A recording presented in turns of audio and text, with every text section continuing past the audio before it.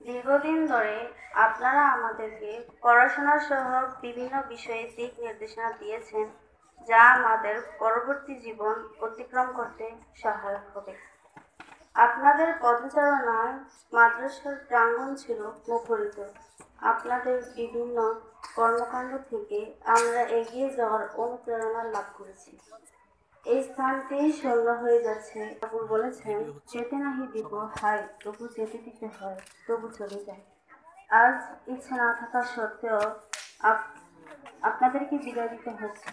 কারণ আপনারা অর্থ প্রতিষ্ঠান থেকে উত্তীর্ণ হয়ে শিক্ষা জীবনের পরবর্তী আসনে পদার্পণ করবেন এবং এক সময় দেশে এগিয়ে যাবেন, দেশের কর্ণধার হবেন।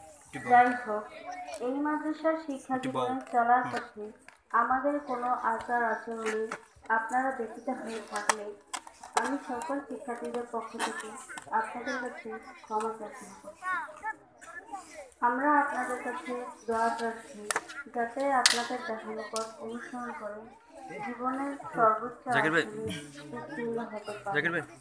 বিদায় মুহূর্তে আর বেশি কিছু বলতে চাই না এই প্রতিষ্ঠানের সকল শিক্ষকবৃন্দ এবং উপস্থিত সকলের দীর্ঘায়ু কামনা করে আমি আমার বক্তব্য এখানে শেষ করছি ধন্যবাদ।